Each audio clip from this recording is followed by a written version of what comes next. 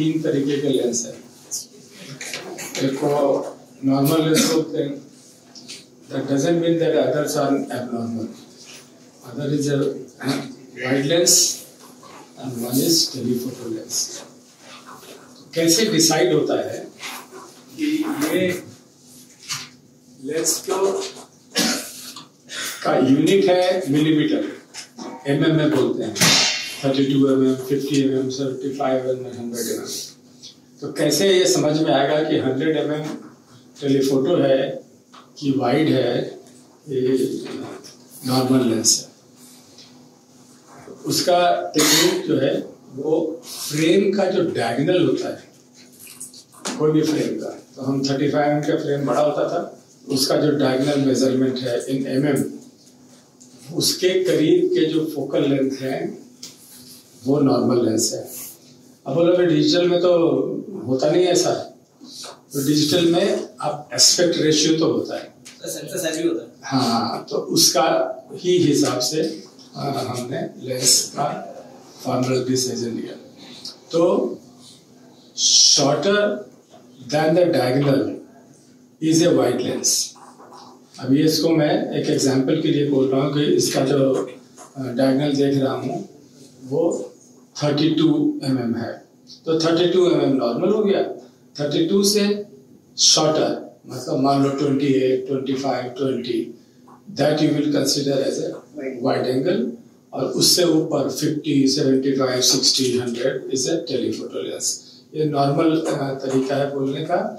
Because even you give requirement for the vendor vendor हमको क्या क्या लेंस चाहिए मैंने मंगवाया भी है तो उसे समझ में आएगा कि और एक है जूम लेंस जूम लेंस अगर है तो आप सब क्लोजअप ये ले सकते हो वाइड भी ले सकते हो बट उसकी अपने किस्म की लिमिटेशन है।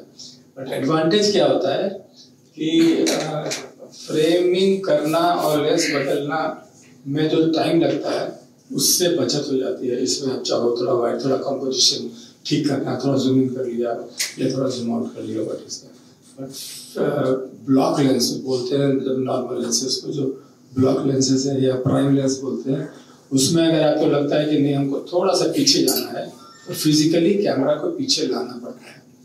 ओके जो कैमरे ये सब तो हल्के हैं, बाएँ हाथ का खेल है, उठा के ले आए पहले कैमरा हेवी होता था, वो दो आदमी मिलके उठाता था स्टैंड बहुत हेवी होता था। तो उसके लिए व्यू फाइंडर है। हम लोग व्यू फाइंडर से डिसाइड करते थे कि यहाँ पर कैमरा रखा जाएगा और ये लेंस लगाया जाएगा तो नॉर्मली डायरेक्टर टांगा होता था एक व्यू फाइंडर वो व्यू फाइंडर भी आजकल ऐप में आता है मोबाइल पर लोग रख लेते हैं।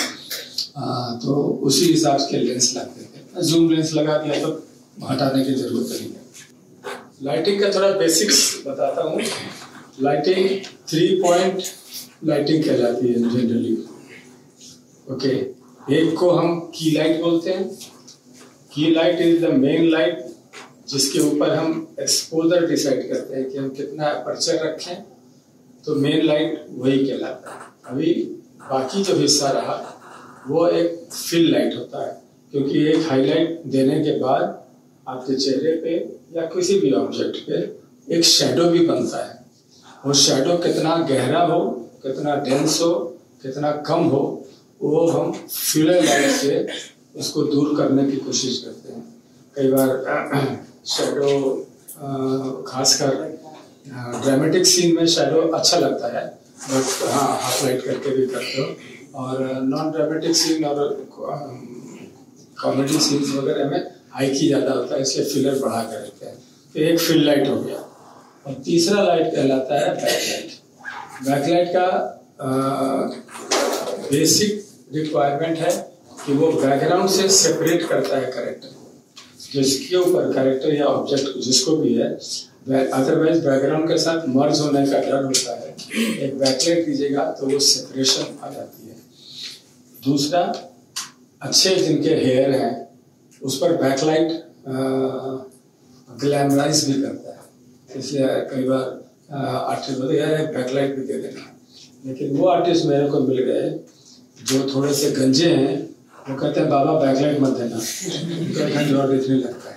पीछे से जिनके बाल कम भी होते हैं ना, वो थोड़ा सा ज़्यादा दिखता है। अगर आप ज़्यादा ब्राइट लगते हैं तो। कई बार सिर्फ़ बैकलाइट दिया फेस लाइट नहीं दिया तो एलिमेंट ऑफ़ सस्पेंस कि कौन है ये? है तो कोई। बैकलाइट से उसका आउटलाइन दिख जाता है।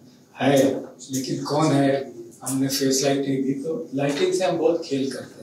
तो बेसिकली लाइटिंग में की लाइट फिल लाइट और बैक लाइट ये तीन लाइट होती है जो आदमी को आ, किसी करेक्टर को दिखाने के लिए ज़रूरी होता है। अब वो आपका आर्टिस्टिक नेचर होता है कि हम उसको कितना ड्रामेटाइज करना है या हमें उसको बड़ा सॉफ्ट ग्लैमरस रखने का है तो हम उसको वेरी करेंगे। अभी कैमरा ऑपरेट कौन कौन सा करता है? यहाँ पे अच्छा कर सकते हो? Camera operate okay come come take the camera here और एक क्लोजअप लाइट करके दिखाइए दिखाइए सब अभी मैं थोड़ा प्रैक्टिकल पे आ गया थ्योरी पार्ट मेरा और ठीक ओके हाँ थोड़ा मैं बता दूँ कि टर्म्स थोड़े टर्म्स मैं इंट्रोड्यूस कर देता हूँ आपको when a camera is moving from left to right, what is that called? Pan. It's called panning. Okay. यहाँ से यहाँ गया तो पैनिंग हो गया और नीचे से ऊपर गया तो? Tilting okay this is called tilting so there are camera movements जिसमें इसको पैनिंग बोलते हैं इसको टिल्टिंग बोलते हैं। Okay okay. ऊपर लगा हुआ और वहाँ से हम नीचे आ गए क्रेन से। क्या हो गया? Crane down and crane up तो ये आप जब शॉट लेते हो ना तो क्रेन पर तो बैठता नहीं है डायरेक्टर ओके वो कैमरा में नहीं बैठता है। तो उसको बताना पड़ता है कि हम ऊपर से नीचे आए तो क्रेन डाउन होगा या क्रेन अप होगा। और कुछ कुछ चीज़ें होती हैं क्रेन के अलग।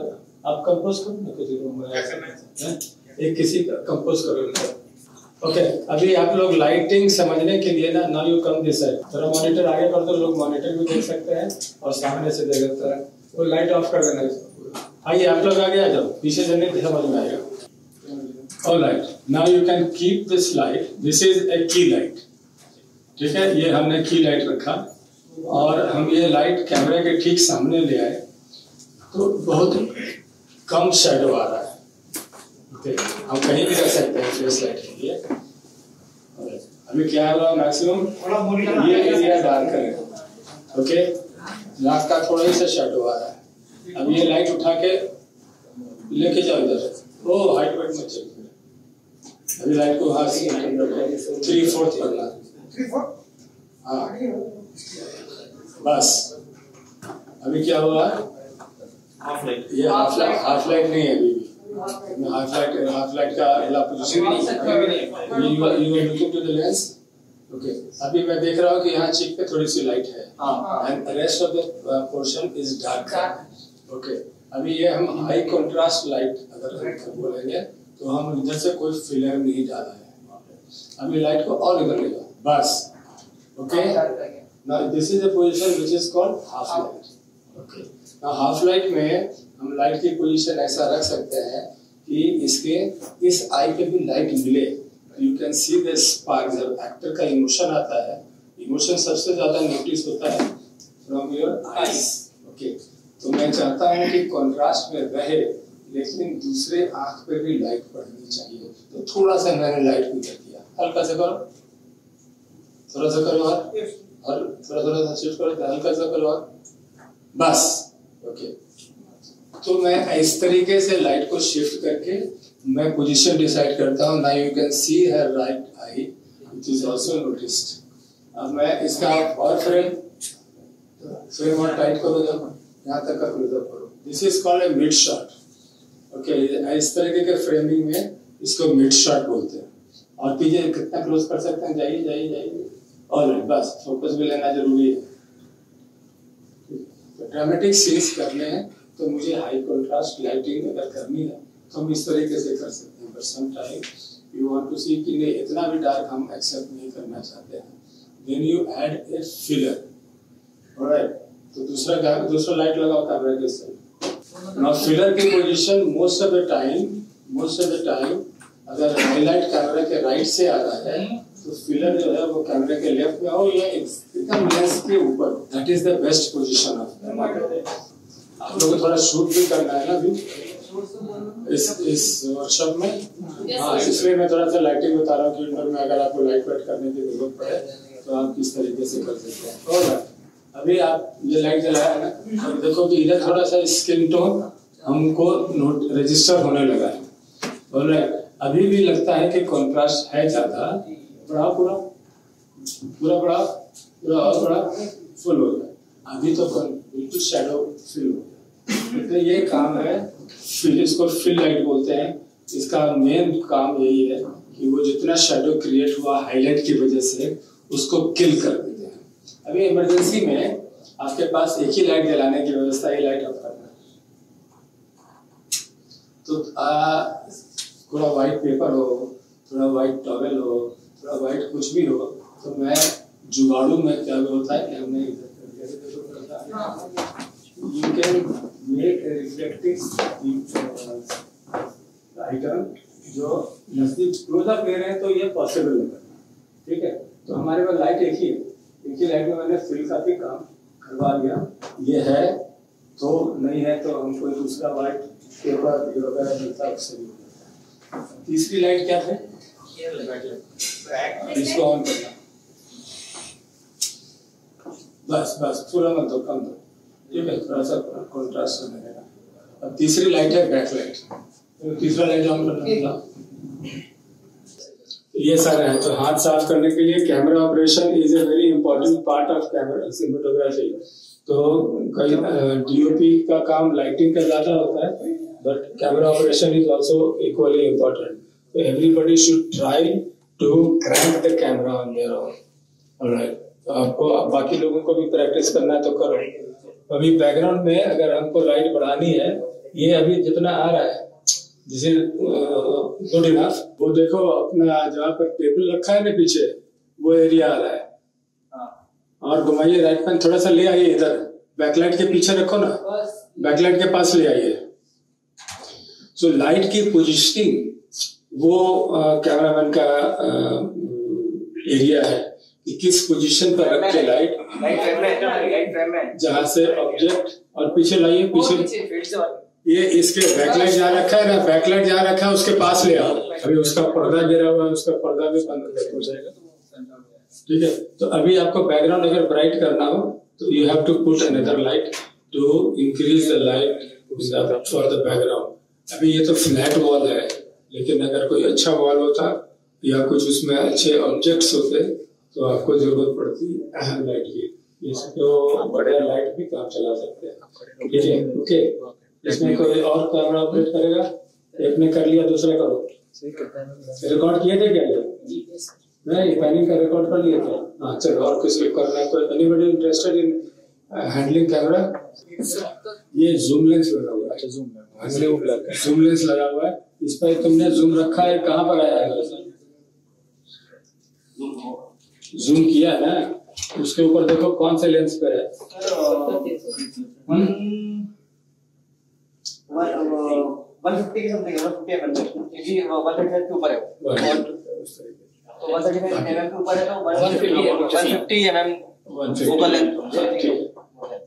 अच्छा अभी आप वाइड कीजिए जूम पे। नहीं करा रहा। कीजिए।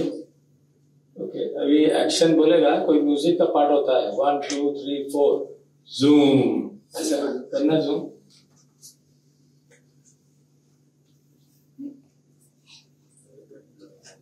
अच्छा ये ये थोड़ा सा आप थोड़ा स्लो से थोड़ा सा जल्दी करना मैं काउंट करूँगा, मेरे वन से स्टार्ट करना जूम और फोर पे रुक जाना।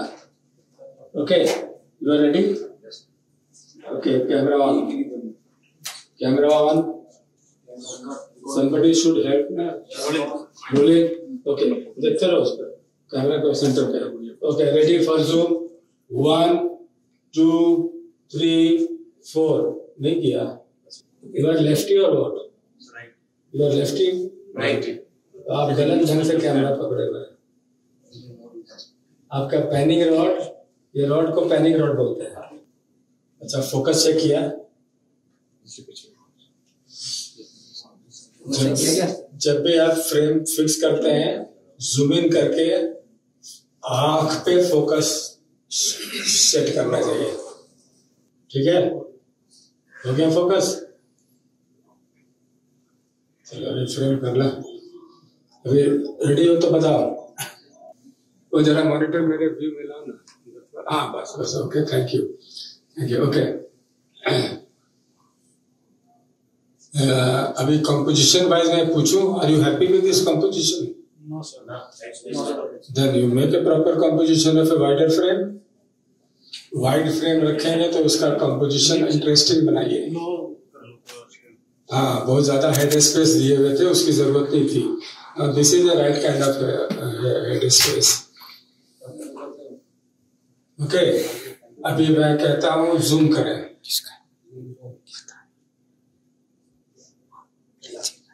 हाँ यहाँ तक लाना है ठीक है? ये फोर में बोलूँगा तो यहाँ तक लाना है। ओके अब आप वाइड करें। वाइड कर लिया? अभी ऑन ऑफ़ कर दूँगा बाद में मैं अभी सिर्फ़ प्रैक्टिस करा रहा हूँ। ओके अभी हेड स्पेस जाता है।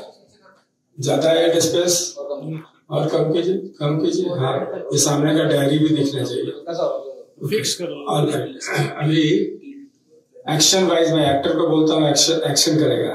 क्या करेगा? वो डायरी पे नोट कर रही है। और नोट करने के बाद वो कैमरे की तरफ़ देखेंगी। जैसे देखेंगी तो जूम करना one two three four okay जरा डायरी पर लिखते हुए एक्टिंग करिए। क्या हुआ कि ये डायरी तो लिख रही है, ये डायरेक्टर ने बोला है तो आपको डायरी दिखनी भी चाहिए। ठीक है, लिख रही है? ओके अच्छा अभी मैं, ये शॉट है, जिसके अंदर आप लिख रही है और मैं कहूँगा लुक लुक हुआ तो इसका मतलब किसी ने, कोई आया है? तो इस लेंस की तरफ़ देखना कैमरा राइट को। ठीक है? तो नीचे से नज़र ऊपर उठा स्माइल करना। और स्टे करना वहीं पे। तो जैसे इन्होंने लुक ऊपर दिया one two three four zoom करना। ओके रेडी हो? एक रिहर्सल कराते हैं। हैं? ठीक है. All right here we go and action नहीं। जब वो लुक ऊपर देंगी उसके बाद जाना है इसके देखो हर कैमरा ऑपरेशन की टाइमिंग होती है। मैं ये इसलिए करा रहा हूँ ये। Okay ready what's your name Shilpika. Shilpika. Deepika? Shilpika. Shilpika. Shilpika. मैं कहा दीपिका तो फिर वो पर तो कौन क्या कहना पड़ेगा?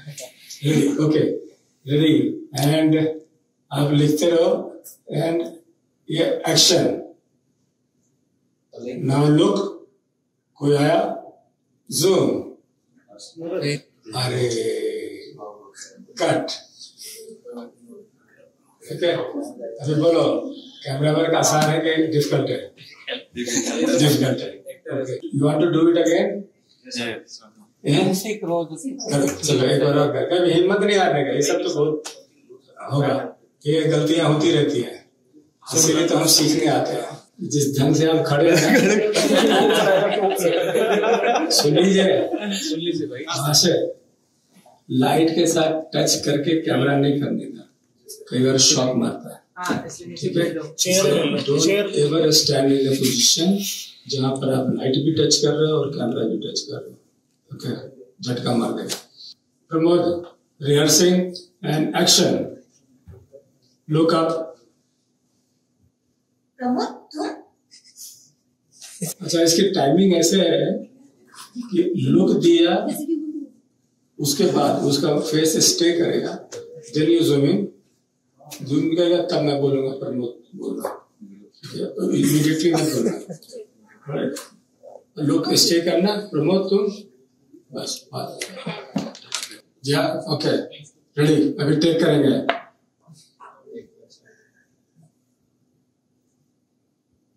रोल कोई स्विच दे दो ऑन कर दो। It's rolling okay keep writing okay look zoom name cut ठीक था अच्छा था। है डिफ़िकल्ट है काम? है आपका क्या नाम है? प्रीतम। है Pritam. Pritam ji. Okay roll rolling keep writing keep writing. Look zoom name. अरे आगे मेरे प्रीतम प्यारे प्रीतम जो है ना वो टांग वांग सर सर ये लूज हो रखा है। ये लूज हो रखा है। ये लूज हुआ है फ़ील्ड को सही से नहीं पकड़ा। लॉक लॉकिंग तो देखो ट्राई की एक कॉन्फिडेंस के नाम पे नाम कलंक।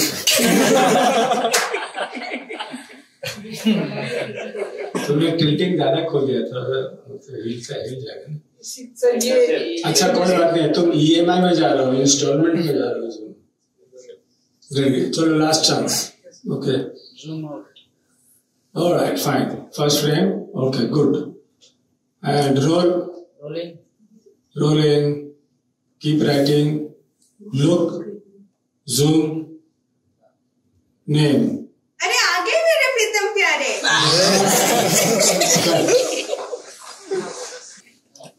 ओके जूम करके देखो। वन टू थ्री फोर तो अभी आपने देखा पैनिक का भी काम आया और जूम हाथ लगता है। चलिए वाइट कीजिए। वाइट कीजिए वाइट कीजिए बस। ओके अभी टेक करेंगे। अभी आप ऑन ऑफ़ स्विच पे हाथ मत रखना कोई और कर ready roll rolling rolling, keep writing, look up, zoom, name, तो ये है ऐसे को कंट्रोल स्वतः खत्म कर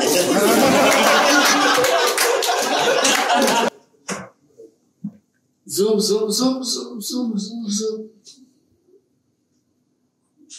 Name, अरे वीरेंद्र आप cut. हैं? नहीं नहीं फोकस का मैं चिंता नहीं कर रहा हूँ। मैं तो कैमरा ऑपरेशन का रिहर्सल करा रहा हूँ। ठीक है फोकस ना हो तो कोई बात नहीं टेलीकास्ट नहीं करेंगे। लेकिन ऑपरेशन का क्या अरे वो रख के देख लीजिए। रेडी ठीक है रोल रोलिंग थोड़ा सा कैमरा लेफ़्ट टर्न कीजिए। नहीं राइट नहीं लेफ़्ट बस बस okay it's rolling keep writing और look zoom one two three four name अरे लौकी तुम आर यू हैप्पी लौकी शॉर्ट हैं नो सर अभी अभी भी ऊपर नीचे इसका शॉर्ट में लौकी तो रिहर्सल थोड़ा ठीक होते हैं Aditya are you ready yes alright roll rolling, keep writing, and look up, zoom, one, two, three, four, आगे Cut, rolling, and keep writing, look up, zoom, one, two, three, four, cut. चलो next आओ शुभम जी हो sir एक minute साठ second का होता है आपका वक्त शुरू होता है अब rolling keep writing look down keep writing and look up zoom one two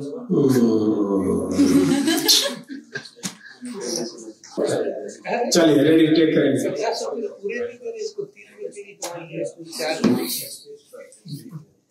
ready sir ready roll rolling rolling and keep writing. Look up, zoom. One, two, three, four name क्या हाल है रोलिंग कीप लिख रही है royal story and look up zoom one two three four four के बाद नाम बोलो. अरे शिल्पी तुम? हाँ. कर rolling rolling keep writing it's rolling and look up, zoom, one, two, three, and four. Mohit ये देखिए आदि के पाड़ पाड़ के ठीक है okay so thank you so much अभी करो? हाँ अभी हो गया. ओके हो आई होप यू एंजॉय